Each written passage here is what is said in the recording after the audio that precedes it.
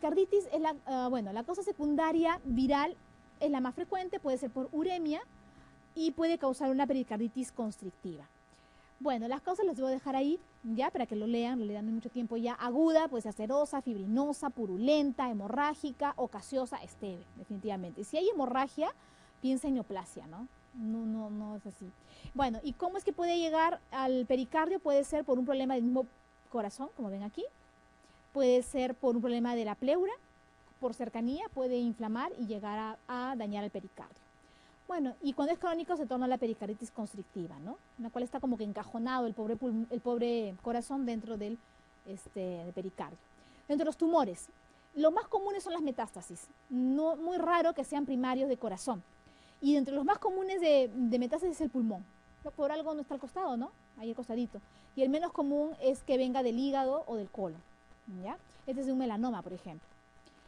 Em, y dentro, otros tumores más frecuentes en adultos son el mixoma, ¿ya? que es generalmente a veces ni causa síntoma, ahí está su tumorcito allí en las aurículas, a menos que sea muy grande, ¿no? Y ahí sí obstruya, entonces ahí sí ya, tendría clínica el paciente. Bueno, acá tenemos también, les dejo también este cuadro para que tengan una idea general de lo que es la hipertensión arterial. ¿En qué órganos se presentan infartos blancos o anémicos debido a una oclusión arterial? Infarto blanco o anémico, ¿tiene que ser en un órgano sólido o en un órgano hueco? Sólido, ¿no es cierto? Entonces, estaría yo entre vaso y ovario, ¿no es cierto? Porque los demás, bueno, el pulmón no es que sea, bueno. Y eh, generalmente los infartos blancos son aquellos en los cuales tienes una circulación terminal. Los demás, intestino delgado, grueso y pulmón, tienen doble circulación o circulación con anastomosis. En realidad solamente te quedaría vaso. Acá es vaso, ¿ah? no te he puesto la, respuesta, pero es vaso. El ovario, a pesar de ser un órgano sólido, el infarto que hace es, hemorrágico, ¿ah? es rojo. Deben haber visto a veces cuando se tuerce, ¿no? El ovario genera, bueno, dolor y todo lo que, y cuando llega al, al el ovario llega al laboratorio está totalmente hemorrágico ese ovario. Este es también el cuadro para que lean aterosclerosis con la patogénesis, la morfología, miren la estrella lipídica, la placa, qué complicaciones puede tener y qué factores de riesgo son importantes para desarrollar esta enfermedad. Y esta es la cardiopatía isquémica, en donde he desarrollado los cuatro, ¿ya? En plomo está lo que es, en general, qué es una cardiopatía isquémica, ¿no? La etiología y la patogénesis.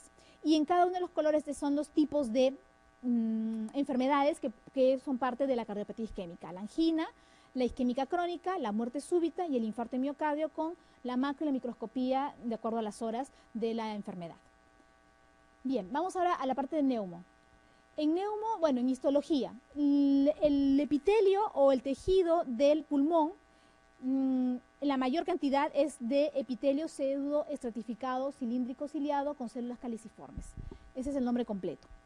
Eh, quiere decir que es cilíndrico, ¿sí? Tiene cilios, acá están, y tiene células caliciformes también llamadas goblet cells. Es pseudo porque parece que tuviera muchos estratos, pero en realidad es un simple. O sea, el pseudo estratificado es un epitelio simple que parece un estratificado, o sea, que tuviera varias capas, pero no, es uno solo.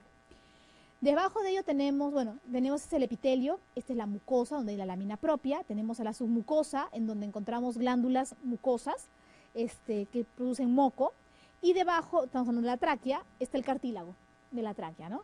que es cartílago hialino, en la zona que está el anillo, porque en la zona que no hay anillo, no hay, no hay cartílago y lo que hay es músculo liso, que es en la zona posterior, ¿no? de la tráquea que está en contacto con el esófago. Em, ya, en cuanto a la histología tenemos, ya, esa es la tráquea, ¿qué? La tráquea tiene su mucosa, su mucosa y su cartílago. Luego tenemos los bronquios y los bronquiolos. A medida que uno se aleja de la tráquea, la vía aérea cada vez es más pequeña y va cambiando de, células. Las células van, algunas van a desaparecer. El bronquio se caracteriza porque tiene cartílago. Ya, miren acá, bronquios, dice cartílago. Todos estos que ven como islas medias azules son, son pedazos de cartílago. El bronquiolo ya no tiene cartílago, carece de cartílago. El bronquio tiene glándulas. Miren acá, acá está la glándula, acá hay glándula. El bronquiolo ya no tiene glándulas. Esto de acá es un vaso, ¿ah? no es una glándula. La glándula es diferente. No tiene glándulas. Em, lo que sí tienen todos los dos es músculo liso, porque se broncoconstriñe y se broncodilata. Tanto los bronquios como los bronquiolos, ¿ya? Tienden a, hacer este, eh, a cerrarse o abrirse. Bien, una vez que llegamos a los bronquiolos, hay varios bronquiolos de distinto calibre, Cuando lleguemos al bronquiolo terminal, aparece luego el bronquiolo respiratorio, Luego del bronquiolo respiratorio sigue el conducto alveolar, luego vienen los sacos alveolares y finalmente los alveolos. Vamos a ponerlo acá mejor. Esto es la vida real, esto es un dibujito. Tenemos aquí el bronquiolo terminal. Le digo terminal porque uno es bronquiolo porque no tiene cartílago, ¿ok? En ningún lado. Luego viene el bronquiolo respiratorio. ¿Por qué sé que este es bronquiolo respiratorio? Porque si se dan cuenta, ¿por qué se llama bronquiolo respiratorio? Porque tú respiras allí. ¿Y cómo es que tú respiras allí? Porque ya hay alveolos. Entonces, tú ves acá una pared donde hay epitelio simple cúbico y acá hay un alveolo. Una pared y acá hay un alveolo. Quiere decir que aquí yo ya hago intercambio de gases. Por eso se llama bronquiolo respiratorio. Pero tiene todavía pared. ¿Sí? ¿Se entiende? Luego viene el conducto alveolar, que son puros alveolos. Luego viene el saco, que sería este de aquí y cada uno de estos chiquitines sería un alveolo. Y quiero que eso se fijen porque cuando veamos la patología esto cambia completamente. ¿no? Si tú no sabes lo normal o lo sano, lo fisiológico en histología, jamás vas a poder ver lo patológico. el cerebro no ve ¿no? lo que el ojo no ha visto. O sea, no, no, no va, jamás lo va a identificar. Entonces acá tenemos la leyenda para que lo vean. Esto es un alveolo. El alveolo está compuesto por dos células nada más que es el neumocito tipo 1, que es este de aquí, y el neumocito tipo 2. El tipo 1 es epitelio escamoso, simple, y el tipo 2 es epitelio cúbico, célula cúbica. ¿Cuál es más abundante, el tipo 1 o el tipo 2? ¿Qué creen? ¿El tipo? No hay 3, no hay 4, no hay 5, solo tienen dos oportunidades, uno o dos. El tipo 1, a pesar de que el tipo, el, eh, perdón, el tipo 2 es el más abundante, perdón, el tipo 2, a pesar de que el tipo 2 produce surfactante, esa es su función nada más, no tiene nada que ver con el intercambio de gases. Es más abundante, pero como es cúbico y chiquito, o sea, así, cuadradito, ocupa menos espacio. En cambio, el tipo 1 será menos abundante, pero es más amplio. Por lo tanto, su superficie es mayor. Ocupa más superficie que el tipo 2. El tipo 1 sí es intercambio de gases. Este tipo 1 es el que va a formar la barrera hematoaire, ¿ya? Y la barrera hematoaire se compone de, bueno, acá está el gas, ¿no es cierto? El aire. Luego que viene, viene la película de agua que podemos tener y viene el surfactante. Hay una pequeña capa ahí de surfactante que lo vamos a tener desde siempre, ¿no? Luego viene el neumocito tipo 1. Debajo del neumocito tipo 1, en cuanto a orden, viene la membrana basal del neumocito tipo 1. De ahí tendría que venir el tejido conectivo, que es el intersticio pero es casi nulo, casi absoluto, está tan pegado a la membrana basal del endotelio que casi no se ve, ¿ya? Pero cuando hay una patología tipo fibrosis, ahí empieza a aparecer, es como virtual, ¿ya? Entonces teníamos el neumocito tipo 1, tenemos la membrana basal, algo de intersticio que es casi cero, vamos a ponerle, luego viene la membrana basal del capilar, que es este de aquí, y después de la membrana basal del capilar está el endotelio, o sea, la célula endotelial, de ahí ya estamos dentro de la luz del vaso. Todo ese espacio o esa distancia que hay entre la luz del alveolo y el plasma, donde ya están los glóbulos rojos prácticamente, mide 0.2 a 0.5 micras. O sea, ustedes saben que una micra es la milésima parte de un milímetro. O sea, agarra tu regla y un milímetro divídelo en mil. Cada milésima parte, la mitad, menos de la mitad de esa milésima parte es la distancia que debe recorrer el oxígeno para llegar al glóbulo rojo. O sea, es nada, ¿no es cierto? Es así recontra cuántico, así medio Ant-Man, una cosa así tan chiquititito, ¿ya? Es importante que sea ese tamaño, ¿para qué? Para que tú asegures que el oxígeno pase al glóbulo rojo. Cuando se excede un poco eso, el oxígeno ya le cuesta y empiezan a haber problemas de hipoxemia. Algo que también antes de, continuar esto, quería decirles que se llama asino pulmonar, ¿ya? A la unión entre bronquiolo respiratorio y alveolo. O sea, el bronquiolo respiratorio tú le sigues avanzando, sigue conducto, saco y alveolo, todo eso es el asino pulmonar. Y se llama asino pulmonar porque es la unidad funcional del pulmón, es allí donde hace intercambio de gases. Si tú consideras al bronquiolo terminal, que es este de acá, junto con el asino se llama lobulillo pulmonar. Eso es importante cuando vemos enfisema. ¿ah? Lobulillo entonces es la suma de asino más bronquiolo terminal. Recuerden que en fisiología hablamos del espacio muerto anatómico, ¿se acuerdan? Espacio muerto fisiológico y espacio muerto alveolar. El espacio muerto anatómico es aquel en el cual tú no haces intercambio de gases porque anatómicamente, histológicamente no se puede. Y eso va desde la nariz, porque el aire ingresa y tenemos aire en la nariz, hasta el bronquiolo terminal. A partir del bronquiolo respiratorio hacia abajo, eso se llama espacio alveolar. Ahí sí es intercambio de gases. ¿Ya? Entonces, el espacio muerto anatómico va desde la nariz hasta el bronquiolo terminal, que es aproximadamente 150 mililitros. Estamos en un adulto varón, ¿no? Lo demás, que es 350, es el espacio alveolar, junto sumas y te sale el volumen tidal, que es 500 mililitros. Ya, entonces sabemos que esto ya está, esto ya está. Ah, ya estos son recordarios nada más para decir que los capilares en el pulmón son continuos. Recuerden que en el pulmón no se intercambia nada más que oxígeno y CO2 y ellos difunden, o sea, ellos pasan de un lado a otro por difusión. No necesitan un canal, nada, gracias a Dios, no pasan nada más. Por gradiente de presiones, eso sí. ¿Cuál es el epitelio que se encuentra a nivel de los bronquiolos terminales? Ok. Em, bien, se supone que a medida que tú bajas de la tráquea hasta el alveolo, ¿cierto? la tráquea tenía un epitelio cilíndrico, ¿sí? ¿Ok? Y el alveolo tiene un epitelio simple plano. O sea, en el transcurso de eso, hasta el final, va, a haber en algún momento epitelio cúbico, porque va a ir disminuyendo en tamaño. Tiene que ser plano en el alveolo, porque mientras más delgado sea un epitelio, más fácil es que haya difusión de gases, ¿cierto?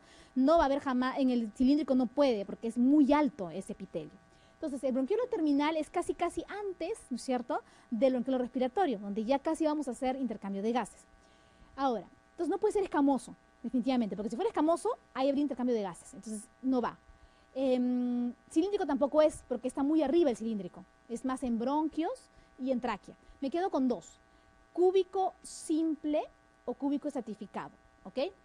Ahora, en ningún momento he hablado que hay estratificación en los epitelios. Siempre es simple en el pulmón, siempre. Entonces, en realidad, yo me quedaría con dos, con cúbico y con cilíndrico, ya, simple, ambos. Ahora, eh, bueno, eso depende de la literatura, porque sabes que hay preguntas que tienen cierta, a veces, este, eh, discusión, porque algunos consideran que es esa clave y la otra es otra. Bueno, en la respuesta de ese examen pusieron, me parece, cilíndrico simple. Lo pongo en rojo porque esa fue la clave que dieron en el examen.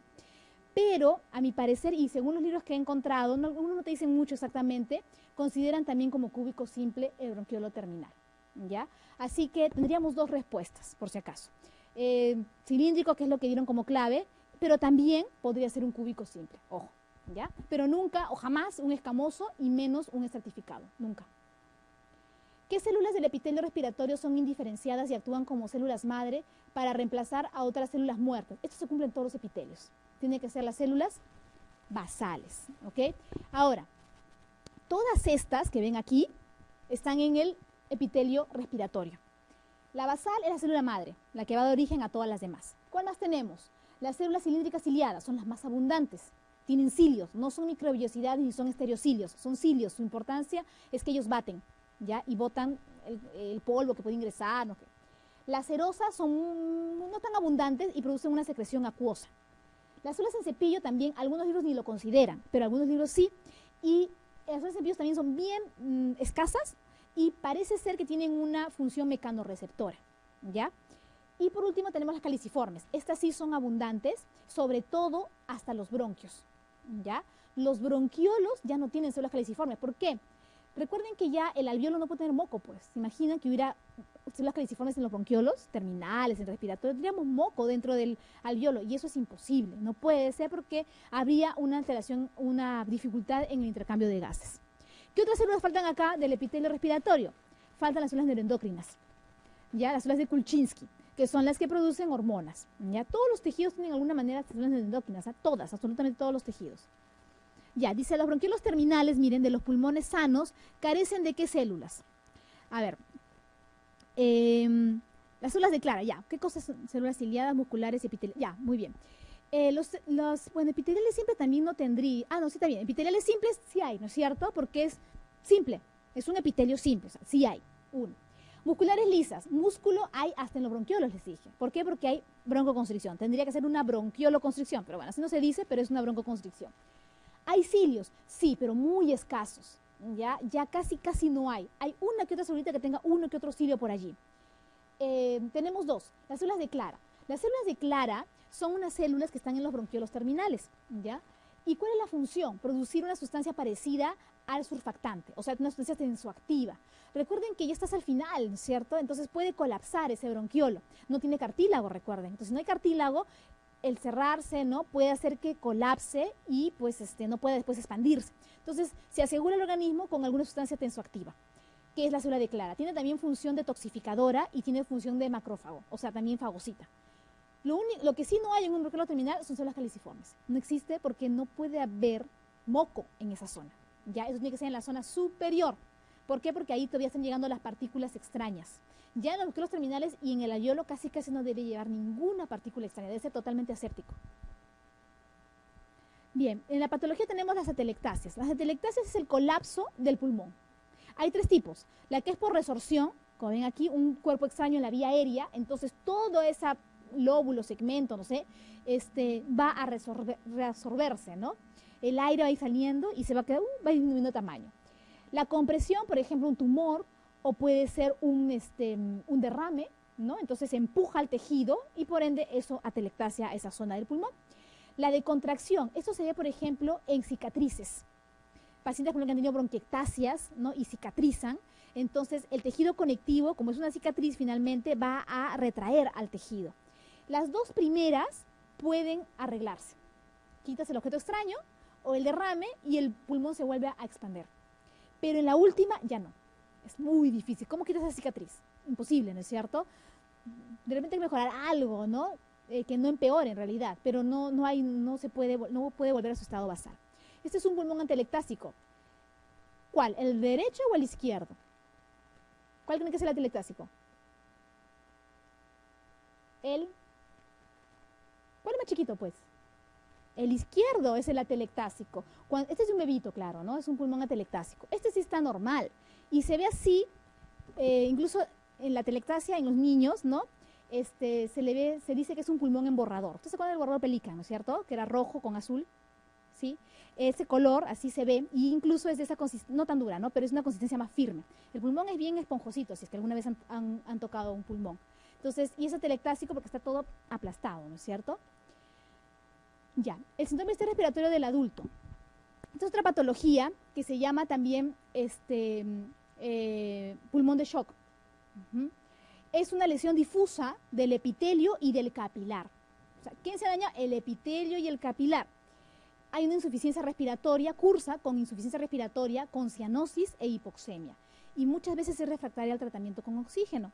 Las causas son múltiples, ¿no? Traumatismo, shock de cualquier índole, este, aunque dice que el shock cardiogénico generalmente no cursa con este tipo de lesión, pero sí el hipovolémico, este tipo, sí puede producir este tipo de síndrome respiratorio del adulto. Algunos, algunas infecciones pueden causar este tipo de enfermedad. ¿Qué es lo que sucede acá? En el síndrome respiratorio del adulto, el problema es que hay una lesión en el endotelio y en el epitelio. ¿ya? En, ambos, en ambas células.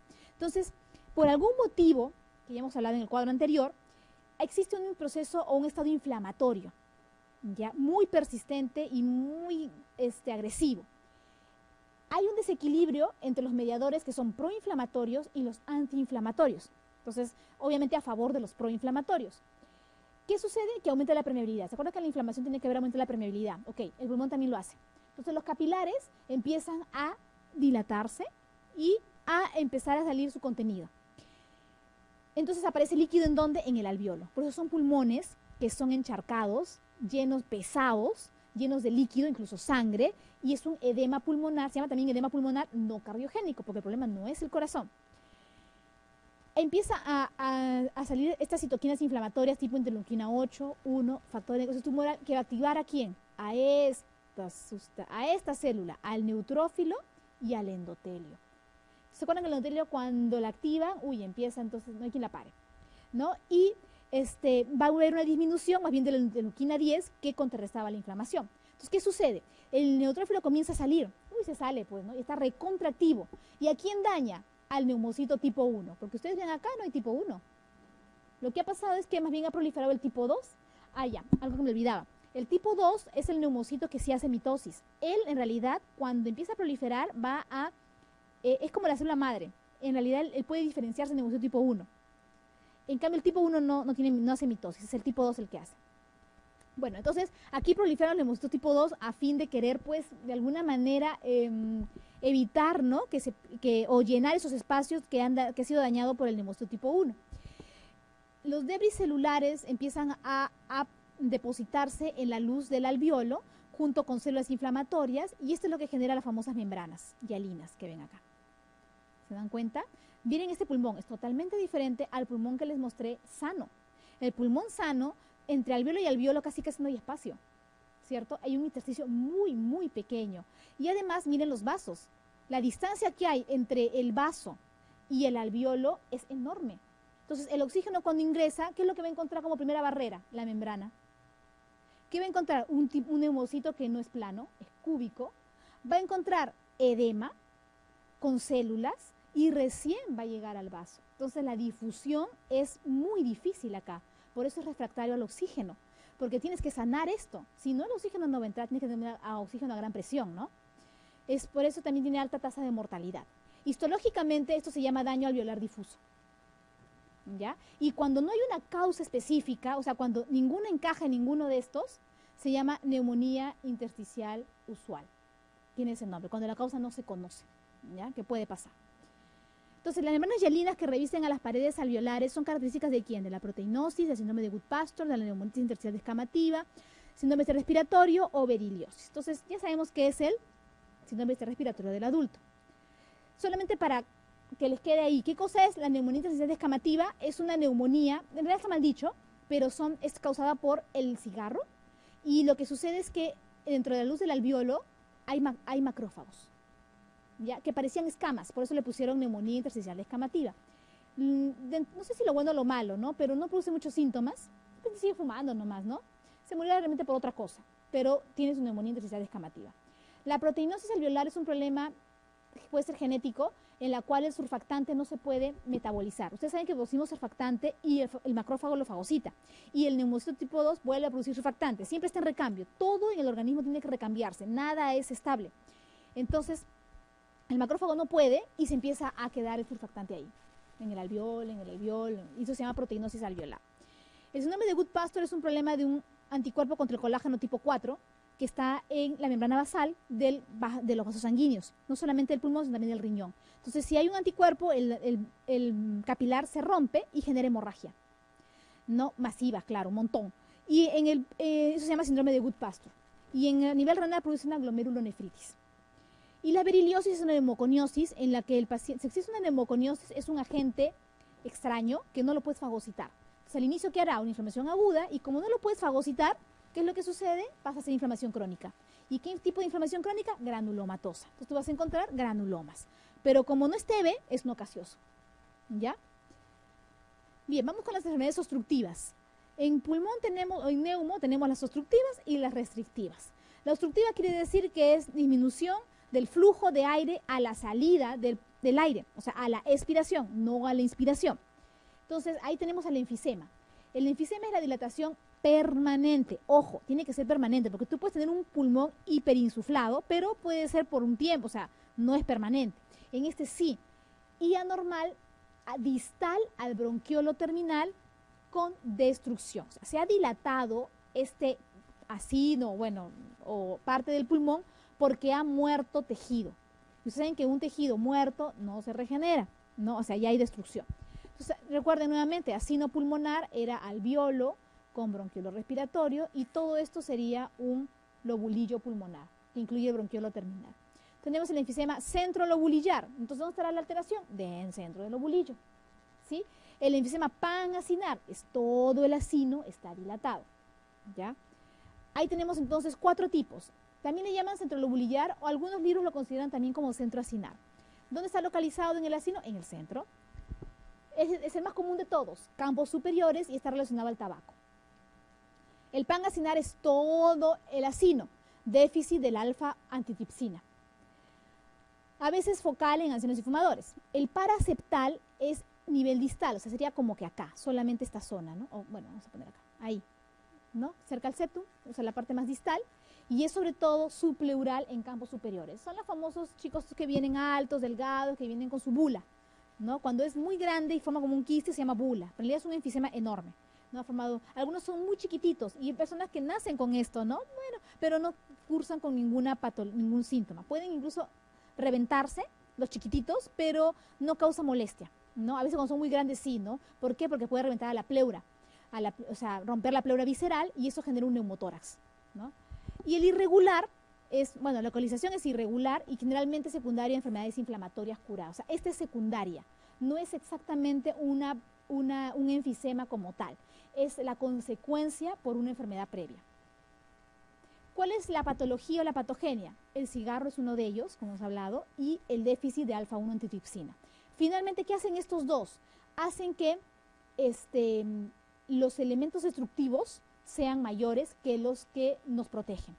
Normalmente nosotros producimos elastasas para destruir, pero a su vez tenemos un anti, antienzima, que evita que mm, tome al mando, tome el mando la destrucción.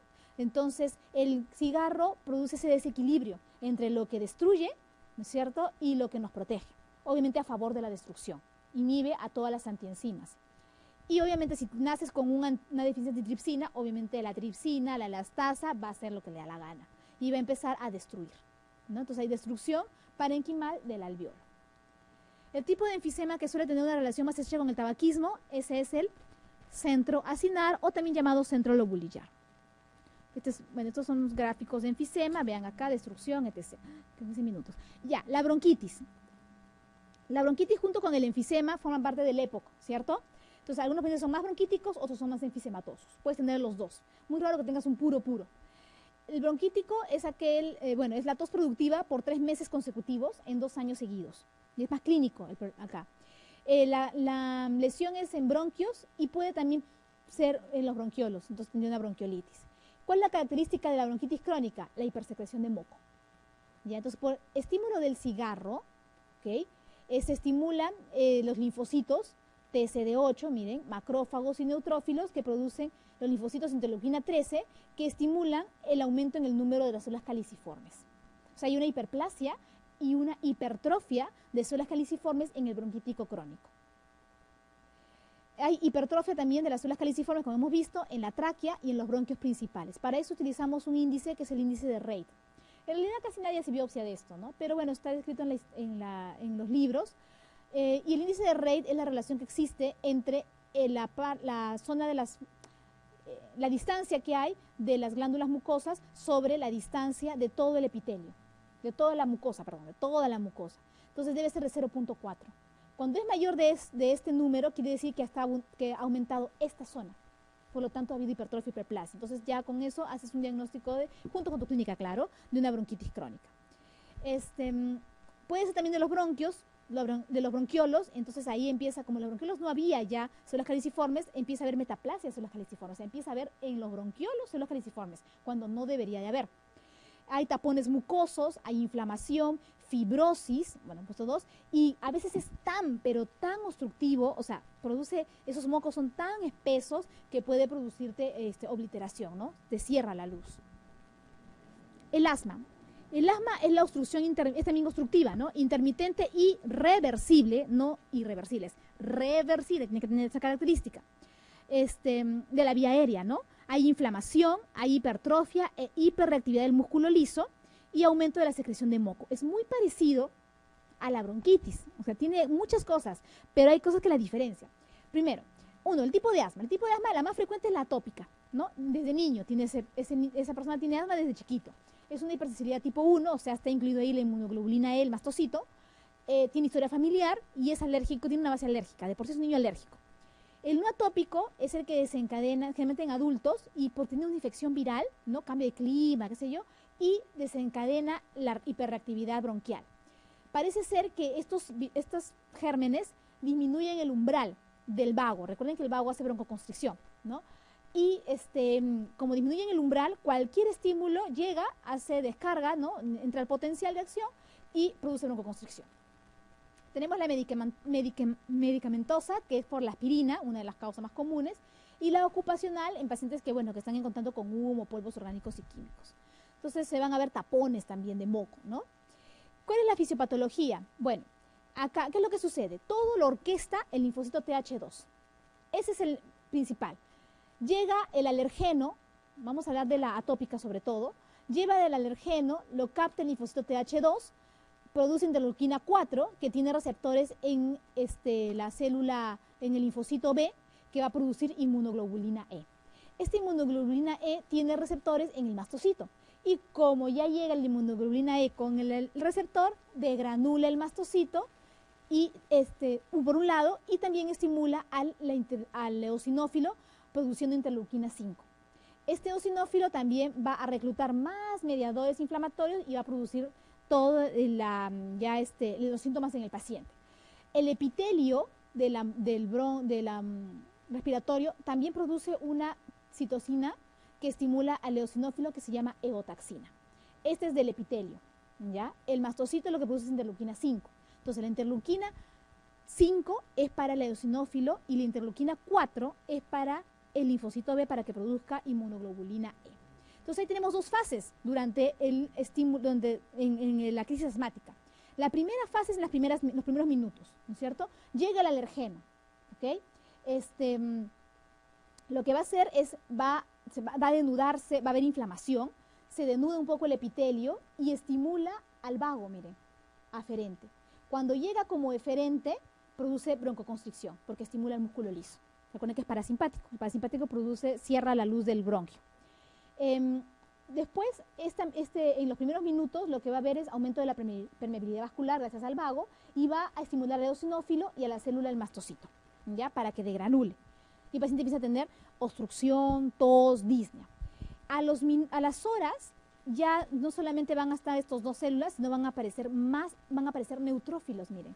Acá no había neutrófilos. En la, segunda, en la segunda fase tardía aparecen los basófilos y los neutrófilos, que producen más inflamación todavía. Esto finalmente va a generar, porque esto no es una sola vez, ¿no? O sea, esto tiene que haber tenido por muchos años. Y esas inflamaciones que son a repetición generan un cambio adaptativo en todo tejido y se llama remodelación.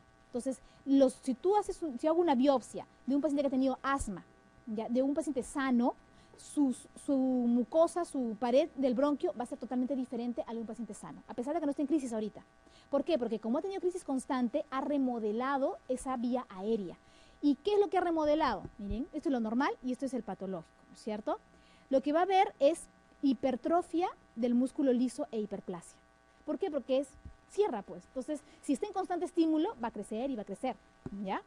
Em, va a aumentar el grosor de la membrana basal. Miren, la membrana basal debe ser un hilo. Acá está como pintado con un pulmón, ¿ya? Va a haber aumento de glándulas en el número. Y va también a haber aumento de vasos sanguíneos, ¿ya? Entonces, el remodelamiento de la vía aérea en un paciente con asma es engrosamiento de la membrana basal, hipertrofia del músculo liso, de las glándulas goblet cells y los vasos van a estar ingurgitados. ¿Qué otra cosa va a haber? Pero ya en el momento de la crisis, ¿no? En el momento de la crisis el epitelio se va a denudar, va a salir a la luz, va a formar moco, va a haber moco acá, y las células muertas, cuando se unen al moco, forman unos cristales, no, unos espirales, perdón, que son los espirales de Kurschmann, son estos de acá.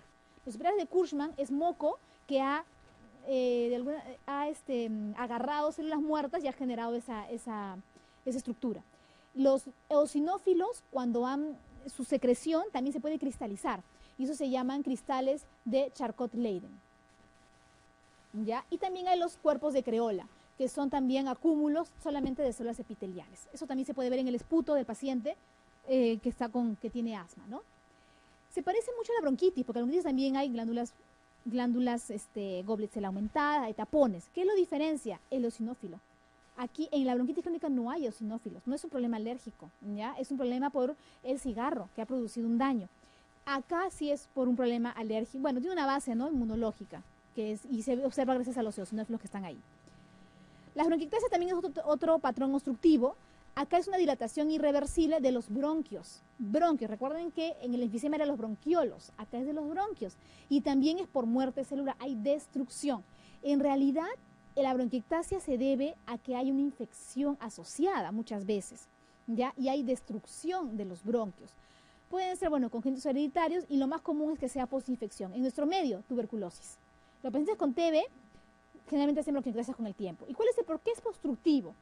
Porque en realidad este produce obstrucción bronquial porque hay cicatrización, ¿no? O sea, esto es una inflamación crónica y toda inflamación crónica termina siempre en reparación. Siempre recuerde eso, toda inflamación crónica va a terminar en reparación. un tejido reparado es un tejido que no es elástico, es un tejido duro, ¿no es cierto? Entonces lo que va a generar en algún momento es una insuficiencia cardíaca derecha, porque todo el pulmón está fibrótico. Entonces la sangre cuando llega va a encontrar un medio duro, ¿no? Los vasos, los capilares van a estar todos, no van a poder distenderse como debe ser.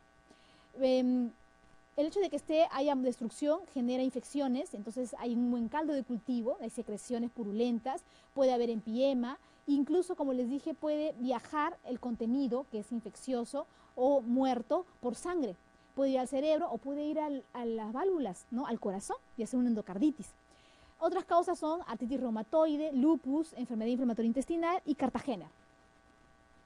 Bueno, lo mismo, tenemos acá destrucción del bronquio, vamos a pasar, Dice, las bronquiectasias pueden deberse a múltiples causas, pero por lo general se desarrollan en qué casos? ¿En enfermedades congénitas hereditarias? Sí, puede haber. Obstrucción bronquial, por supuesto. Neumonía necrotizante, claro. Toda neumonía que, que daña, que es muy severa, produce muerte. Deben, todas ellas en realidad. Todas es la clave, ¿ah? Muy bien, de las destructivas tenemos las intersticiales. Acá el problema, ¿cuál es? El intersticio. ¿No es cierto? Y en el intersticio, ¿qué cosa hay? Tejido conectivo.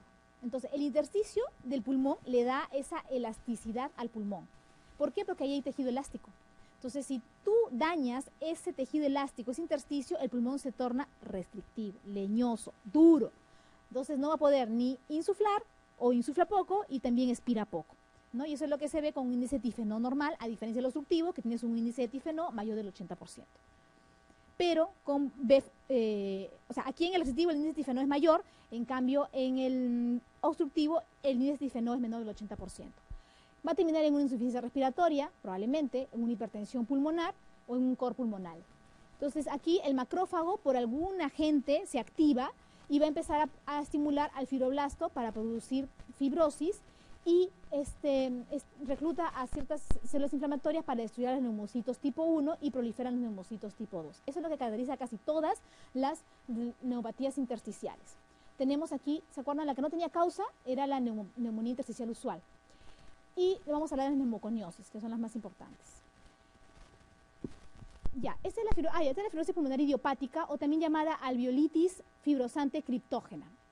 Es, la, es una fibrosis intersticial difusa y el patrón histológico se llama neumonía intersticial usual. Es una fibrosis parchada con focos de fibroblástico, con espacios quísticos, como ven aquí, eso no es un alveolo normal, tapizados por neumocitos tipo 2, que están más grandes y en mayor número. Puede haber hipertensión pulmonar y el estadio final de la fibrosis pulmonar idiopática es el famoso panal de abeja. Está tan destruido el intersticio y el alveolo que genera esos huecos. Obviamente este pulmón ya no sirve para nada, hay que sacarlo. Entonces, ¿por qué se da? Porque hay un daño persistente alveolar eh, epitelial que estimula a la respuesta este, celular y el fibroblasto empieza a producir colágeno. Colágeno y colágeno y colágeno y eso produce una fibrosis. Las neumoconiosis son enfermedades que por polvos, ¿no? Y generalmente para que llegue al alveolo tiene que ser la partícula menos de 1 a 5 micras bien, bien chiquitos para que lleguen hasta abajo. Generalmente las que están por encima de ese tamaño se quedan en las vías respiratorias altas. Em, para que llegue al alveolo, miren, tiene que ser incluso menos de una micra, 0.5 micras. Eh, los macrófagos son los que llegan a su encuentro y pueden producir fibrosis. Vamos a hablar de tres, del carbono, del sílice y del asbesto. El carbono, o también llamada neumoconiosis los trabajadores del carbón. Puede ser desde una antracosis asintomática, como debemos tener nosotros, inspiramos aire que obviamente no está limpio, em, y puede transformarse con el tiempo y si es que sigues inhalando eh, carbono a una neumoconiosis del carbón simple, donde hay máculas y nódulos de carbón, como este de acá. Bueno, acá está un poco más compleja, ¿no? Pero vas a tener manchas negras bastante amplias. Puede terminar siendo un enfisema centrolobulillar, es una complicación, o puede terminar haciendo una neumoconiosis complicada es decir, una fibrosis pulmonar masiva. ¿ya? Entonces, lo más común es que hagamos esto, ¿no? una troncosis asintomática. ¿Qué es una fibrosis pulmonar masiva? Es una confluencia de nódulos, las cicatrices son más de 2 centímetros, múltiples y puede causar hipertensión y cor pulmonar. Dentro de lo bueno es que no hay un aumento de la frecuencia del carcinoma pulmonar, es decir, no se asocia a que prolifere o que hagas un carcinoma de pulmón. La silicosis es la enfermedad ocupacional más prevalente que, hay, activa y libera mediadores por los macrófagos, interleuquina 1, factor de necrosis tumoral, ROS, este, mediadores lipídicos, citoquinas, y finalmente podría terminar en una fibrosis pulmonar masiva. Generalmente inicia en los lóbulos superiores, ¿ya? Puede ir a todos, sí, pero inicia arriba. Y lo que predomina puede ser una, una silicosis nodular simple o puede ser una silicosis complicada. Todo el pulmón está lleno de qué? De nódulos, de granulomas, ¿ya? Esto se asocia mucho a tuberculosis. Entonces, es muy común que haya silicosis con tuberculosis. ¿Por qué? Porque la, silicosis lo que produce es deterioro de la inmunidad celular. Entonces, los macrófagos no pueden fagocitar. Entonces, la enfermedad viene y se acumula y empieza a proliferar. Se habla de que hay algún tipo de relación con carcinógeno, no se sabe muy bien. El tipo de sílice cristalina sí parece que está asociado a algo, pero no está comprobado 100%. Y algo que caracteriza es que los ganglios iliares, ¿no es cierto?, tienden a calcificarse y tienen esa imagen en cáscara de huevo. Eso es muy característico en la radiografía de los pacientes con silicosis. El asbesto. El asbesto es otra patología ocupacional que ya no debería de haber porque está prohibido utilizar el asbesto para las casas, ¿no? Y para mantener el calor, porque esa es la función del asbesto. Eh, hay dos tipos, las serpentinas y las anfíboles, es decir, la forma. La serpentina es la más frecuente, pero no es tan patógena como los anfíboles, que sí son más patógenos. Puede producir fibrosis intersticial, pulmonar difusa, puede llegar a ser panal de abeja, puede ah, llegar a la pleura, hipertensión pulmonar, cor, placas pleurales, que es la manifestación más frecuente. Esta sí, el amianto, o sea, que es la asbestosis, que es el amianto, más el cigarro, tienen sinergismo para carcinoma pulmonar. ¿ya? Entonces, cuidado con eso. Y es más común en lóbulos inferiores, a diferencia del sílice, es en lóbulos superiores. La sarcoidosis es otra, enfermedad restrictiva granulomatosa. No se sabe la causa, en la cual el paciente produce granulomas en múltiples lados. Hay en piel, ¿no? hay en tracto gastrointestinal y uno de ellos es el pulmón. Regulado por los TH1CD4 y afecta a múltiples órganos. No, no se sabe la causa todavía. Eh, las células multinucleadas tienen unas sustancias dentro de ellas, estructuras que se llaman cuerpos asteroides, y cuerpos de Schaumann. Eso también es característico de la sarcoidosis. Luego tenemos la neumonía por hipersensibilidad que se da en pacientes que, por ejemplo, cuando el pulmón del granjero, el pulmón del cuidador de palomas, en la cual llega el agente infeccioso y produce una reacción tipo alérgica ¿no? dentro del pulmón. La intersticial descamativa es lo que acabamos de hablar, que les comenté, ¿no? el paciente fumador, que produce descamación de los, no descamación, sino macrófagos dentro del alveolo que quieren fagocitar todos esos elementos nocivos gracias al cigarro. La hipertensión pulmonar, según la, es la presión pulmonar media, alcanza, o sea, cuando la presión pulmonar media alcanza un cuarto de la, del nivel, ¿no? O más de la presión arterial sistémica. O sea, una presión arterial más de 25 milímetros de mercurio en reposo. Este, según la clasificación, tenemos una hipertensión pulmonar arterial, que es una enfermedad autoinmune, ¿no? Por ejemplo, la esclerosis sistémica, una hipertensión pulmonar por enfermedad del corazón izquierdo, por ejemplo, la enfermedad cardíaca, una hipertensión pulmonar por enfermedad pulmonar o hipoxia, por ejemplo el EPOC, las enfermedades intersticiales, obstructivas, la hipertensión pulmonar tromboembólica crónica, cuando hay tromboembolismo recurrente, entonces tenemos hipertensión pulmonar, y hipertensión pulmonar que no se sabe el mecanismo. ¿Qué es lo que sucede en histología? Hay hipertrofia de las, la capa media de las arterias musculares y elásticas, puede haber aterosclerosis, hipertrofia obviamente del ventrículo derecho, porque el corazón derecho es el que sufre, y en estadios finales es eso de acá, que es la arteropatía pulmonar plexógena. Es como un, ovillo de capilares en un vaso. Eso se llama arteropatía pulmonar plexógena y eso sí es el estadio final de la hipertensión pulmonar. Yo les pongo esto para que vean que cuando éramos fetos teníamos un grado de hipertensión pulmonar, muy parecido a lo que sería la hipertensión pulmonar de un adulto, obviamente patológico, pero esto es fisiológico en el intraútero, más no en el ya fuera del útero, ¿no es cierto? Ya. Por las infecciones vamos a hablar entonces de las neumonías. Las neumonías pueden dividirse en bacterianas, virales y micóticas según el agente causal o adquiridas en la comunidad o intrahospitalarias. Y acá les dejo los gérmenes más importantes. Puede ser según el punto de vista histológico, que el compromiso sea dentro del alveolo o que sea en el intersticio. O según la anatomía, es lobar o puede ser una bronconeumonía. El neumococo es el agente causal más importante de la neumonía bacteriana adquirida en la comunidad y es el, es el ejemplo clásico de la neumonía lobar o neumonía típica o intraalveolar. Tiene cuatro fases el la infección del neumococo. El exudado, que es un edema primero, ya recuerden que acá está la gente, entonces lo que va a haber es un poco de vasodilatación y sale el agua, eso ya lo saben por inflamación. En segundo lugar, tiene que haber salida de elementos inflamatorios, neutrófilos junto con glóbulos rojos salen, por eso se llama hepatización roja o consolidación roja. Luego viene, una vez que los macrófagos, hacen, perdón, los neutrófilos hacen lo que tienen que hacer, hay muerte dentro del alveolo. Entonces, ¿qué hace el macrófago? Lo fagocita para limpiar todo eso. Eso se llama hepatización gris. Y finalmente, la resolución. Entonces, dentro de las complicaciones tenemos la pleuritis, que es la más común, y la más rara es la fibrosis pulmonar. O sea, que esto se torne crónico. Es muy raro. Recuerden que acá el compromiso es dentro del alveolo, no hay en el intersticio. El estafilococo es el que hace absceso pulmonar. Luego tenemos este sinnúmero también de agentes. Recuerden que la moraxela es la segunda causa de este, mm, neumonía en pacientes con EPOC, em, la clepsiela en alcohólicos, ¿sí?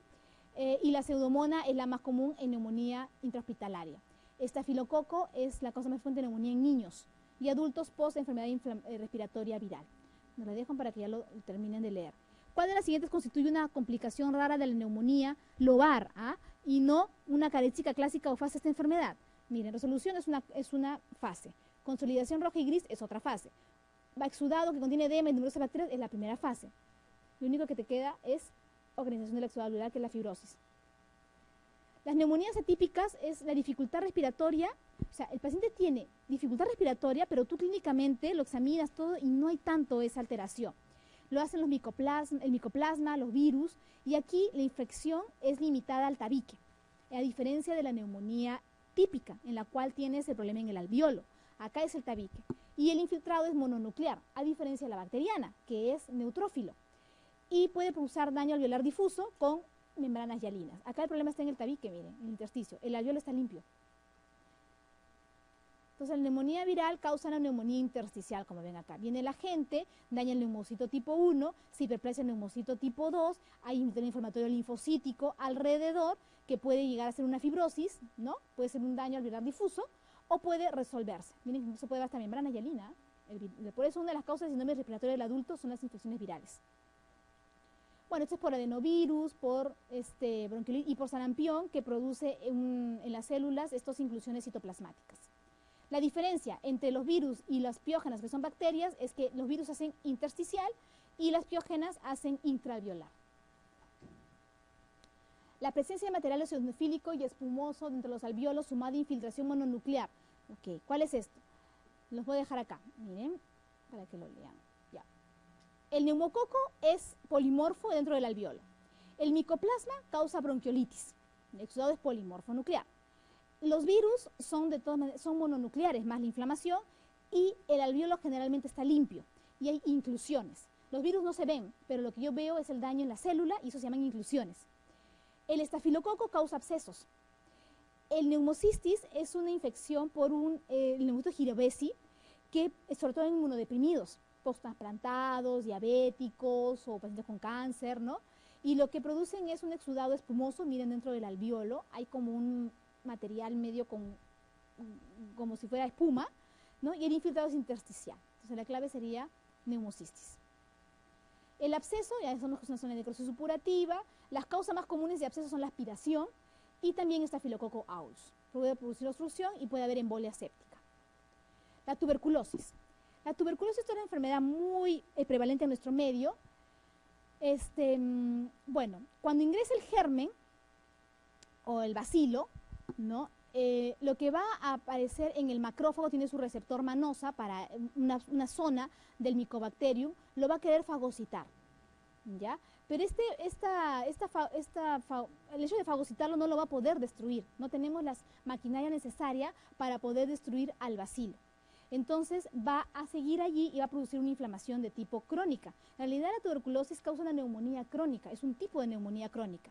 En las primeras tres semanas del, ingreso del bacilo, el paciente puede estar asintomático o incluso puede tener un cuadro gripal en las primeras tres semanas. Después es que se desarrolla la inmunidad que va a ser mediada por células. Y eso lo hace el linfocito T. Ahorita lo vamos a ver, ¿no? Eh, está acá mejor. Ah, no, no, ya está acá, acá. Ya. Entonces, viene el macrófago alveolar, estimula al linfocito T gracias a la interleuquina 12 y este va a estimular o, va a mm, activar al linfocito TH1. Ese es el que va que está todo. El TH1 va a estimular, va a producir interferón gamma y va a activar al macrófago. Recuerden que el linfocito y el macrófago se estimulan mutuamente. Acá es el TH1, gracias al interferón gamma y al macrófago activado. Este macrófago activado va a producir quimiosinas que van a reclutar más monocitos y van a formar una, un granuloma, que está formado por macrófagos epitelioides con sus necrosis gaseosas, células gigantes y linfocitos alrededor. Entonces, es una inmunidad de tipo celular que hace el organismo frente a la tuberculosis. La tuberculosis puede ser primaria, que todos debemos haber tenido, ha pasado desapercibida probablemente y ahí ha quedado. Cuando ingresa en la primaria, ingresa al tercio medio nada más del pulmón, y eso se llama, y hace su necrosis gaseosa acá con su granuloma, se llama foco de Gón. El compromiso del ganglio se llama complejo de Gón, hace lo mismo. El bacilo se va hacia el ganglio y hace necrosis gaseosa. Puede quedar allí o puede este, el bacilo activarse y formar una, tuberculosis secundaria.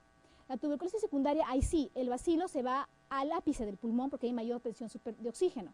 Y ahí es muy destructiva. Recuerden que en este momento se, está haciendo la inmunidad en el organismo. Ya lo captó, ah, ya sé quién eres. Y en, una segunda, en, una, en un segundo contacto, ok, con todo va el macrófago y el linfocito. Y es muy destructivo. Entonces, la tuberculosis primaria puede, como les digo, quedar como latente o puede irse una progresiva, dependiendo de la inmunidad del paciente. Pero antes de una progresiva tiene que haber esto, definitivamente. En la tuberculosis secundaria puede ser o una localizada, como puede ser pulmón o puede ser un ganglio, que es lo más común en nuestro medio, lo que es la escrófula, o puede ir a una progresiva, también secundaria, dependiendo de la inmunidad del paciente. Generalmente VIH se hacen una progresiva secundaria que es una miliar. Entonces la primaria es esto, complejo de GON, perdón, foco, y eso es el complejo necrosis gaseosa. Generalmente es de 1 o 2 centímetros el foco, chiquito, y la secundaria sí es destructiva, forma las cavernas, porque destruye el ápice del pulmón. Histología se ve el granuloma gaseoso, que eso ya lo hemos visto. Entonces, la infección primaria con TB suele caracterizarse por ser la primaria, apicales, nada que ver. Calcificaciones pulmonares múltiples y difusas, no, la primaria no, es una primaria progresiva sería. Lesiones pulmonares periféricas y linfadenopatía regional, verdadero. Neumonía tuberculosa, meningitis tuberculosa. Miren, en la primaria tú puedes hacer una neumonía tuberculosa, por supuesto, claro que sí. Es más, ve tu neumonía e incluso meningitis. Pero para que llegue hasta el cerebro, ¿no es cierto? Tiene que haber un foco. Tiene que haber un foco de GON, definitivamente. Y después ya se puede hacer todo lo que ustedes quieran. Dentro de los hongos que pueden producir también granulomas, tenemos al histoplasma, tenemos al coccidio, y a la blastomicosis. La diferencia está en qué, porque histológicamente todos forman granulomas, ¿ya? Pueden, no caseiformes. La diferencia está en el tamaño del germen, ¿no? El histoplasma es más chiquito, es, puede medir de uno menos de una micra, ese puede medir de 10 micras, ¿no? Y la, el blastomicosis tiene como una cápsula alrededor, ¿ya? Son hongos oportunistas profundos. Bueno, ya hemos hablado de neumocitis carini, ahora se llama neumocitis girovesi en realidad, es en inmunosuprimidos con exudado espumoso, se llama también en algodón de azúcar, el infiltrado es mononuclear. Dentro de los tumores, para acabar, dentro de los tumores de pulmón, los, más, los benignos son los menos comunes. Los más comunes, lamentablemente, son los malignos. Y dentro de los benignos, el más común es el amartoma. El amartoma hay en todo lado, ¿ah? Hay amartoma en, no sé, pues en, en estómago, hay amartoma en piel. ¿Qué es un amartoma en general? Un amartoma es un sobrecrecimiento normal de elementos propios del pulmón, en este caso, o de un tejido, en este caso del pulmón. Si prolifera el cartílago de forma ordenada y madura, eso es un amartoma. Este, pero si yo veo que en el pulmón hay tejido pancreático, eso no es un amartoma. A pesar de que sea benigno, ¿ah? no es un amartoma, eso es un tejido heterotópico. O sea, vino de otro lado, es un coristoma, es diferente. Em, si por ejemplo en la piel, si prolifera, no sé, pues este, mm, el epitelio escamoso, ¿no? Y forma una mastela, es un amartoma. Eso es un amartoma. Entonces, el amartoma es el tejido que prolifera, pero es propio, es la célula que prolifera que es propio del tejido. El fibroma es tumor de origen mesenquimal, el hemangioma de vasos, el hemioma de músculo liso y el tumor carcinoide no es un tumor benigno, es un tumor maligno de las células neuroendocrinas, pero de bajo grado de malignidad. O sea, dentro de todos los malignos, de los estadios del carcinoide, el más benigno es este, el carcinoide, ¿ya? Em, mire, es el 1 al 5% de los tumores pulmonares, de los tumores de pulmón. El tumor benigno más común del pulmón es el amartoma, ¿ya? El paciente puede estar asintomático toda su vida y por una placa que le hicieron le encontraron una masita. y puede morirse de otra cosa que no sea somartoma, a menos que obstruya alguna vía aérea, bueno, y ahí hay que producir algún tipo de bronquiectasia de repente. El carcinoma de pulmón. El carcinoma de pulmón se ha dividido históricamente en dos grandes grupos. El carcinoma de células pequeñas, que es el neuroendocrino, y el carcinoma de células no pequeñas. ¿Ya? Este, el bueno, acá también se los dejo por qué. Porque para que una neoplasia, para que una célula se haga neoplásica, tiene que haber pasado por una serie de alteraciones genéticas, ya moleculares. No es tan fácil que una célula se malignice. Se habla después del segundo golpe, ¿no? en el cual tienes una mutación, pero eso no basta, tiene que haber una segunda mutación de algún gen para que recién una célula pueda hacerse maligna. Entonces, en los tumores de células pequeñas, ¿ya? Eh, se ha asociado más a la mutación del P53. El de células no pequeñas también es P53, pero en menos porcentaje. El de células pequeñas em, es más común, eh, el de células no pequeñas, que es el más común de todos, que es el adeno, ¿no? O el carcinoma epidermoide, está asociado más a la mutación del gen Carras, que es el adeno, y el gen, el factor de crecimiento epidérmico, que es para este, los este, mujeres, adenocarcinoma y no fumadores. ¿Ok? Ya, eso es lo más importante del cuadro. Bueno, también ya lo leen la parte de lo que es la histología, pero lo más importante son las de lesiones de los genes que están mutados. El carcinoma pulmonar, el escamoso, este es el carcinoma epidermoide. Este es asociado a consumo del cigarro. Recuerden que se metaplasia, ¿no? De cilíndrico pasa a ser escamoso. Y ese escamoso es el que empieza a proliferar. Es más de varones, bueno, aunque ahora pues las mujeres fuman tan igual que los varones, y la localización es más céntrico. ¿Por qué? Porque el cuando tú fumas, la mayor carga va a estar en las partes más centrales, ¿no? Y después se va disipando a lo largo del pulmón. La lesión premaligna es la metaplasia escamosa se va a pasar a metaplasia, luego sale a displasia, luego in situ y, e infiltrante. En la glandular, es más de mujeres, no está asociado al cigarro y es más en la zona periférica del pulmón. ¿Cuál es la lesión premaligna? La hiperplasia adenomatosa atípica. Esa es la lesión premaligna de esta adenocarcinoma. Luego tenemos la, este es el carcinoma de células pequeñas, desde cigarro, también consumo el cigarro, puede estar central o periférico, son células chiquititas, parecen linfocitos, son muy, muy malignas estas células y pueden producir síndromes paraneoplásicos. Y esta es la indiferenciada, ¿no? No se sabe si fue un adeno, puede ser un escamoso, no sé, este es peor. Y por último, el mesotelioma, que es un tumor maligno del mesotelio, ¿no? Se asocia mucho al asbesto, como ven allí, eh, se forman placas en la pleura em, rígidas y eh, histológicamente se les llama que es un tumor bifásico. ¿Por qué es bifásico? Porque tiene células epiteliales y células estromales, ya sea de las dos. Usualmente un epitel, un tumor es o es, o es epitelial o es estromal, ¿no? pero acá no, tiende, tiene esas dos estirpes histológicas, ¿ya? por eso se le llama tumor bifásico, altamente maligno. ¿Se dan cuenta cómo la pleura está engrosada? Debería ser pues una bolsa, ¿no? súper delgadito.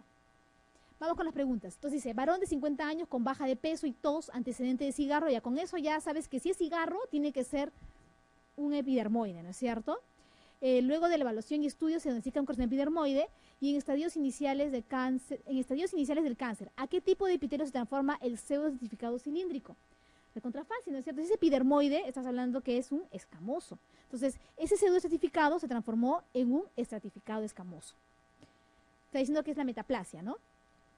Em, ya, esto también es otro gráfico que les he colocado para que vean el resumen de la enfermedad pulmonar obstructiva, ya, con la significancia clínica, la patogénesis, etc. Este es de la restrictiva, acá está el, este es el concepto prácticamente de la restrictiva y estas son las principales, bueno, no puedo poner todas, ¿no? Pero son las más, las más importantes. Las neumonías también, vean ahí la causa por bacterias y cuando hablo de fases, hablo de la neumonía, sobre todo la de neumococo que es la que más se conoce, ¿no? Las otras algunas carecen de algunas fases, por ejemplo, Klebsiella carece de la fase 1 y 2. Y bueno, y ahí acabamos. Muchas gracias.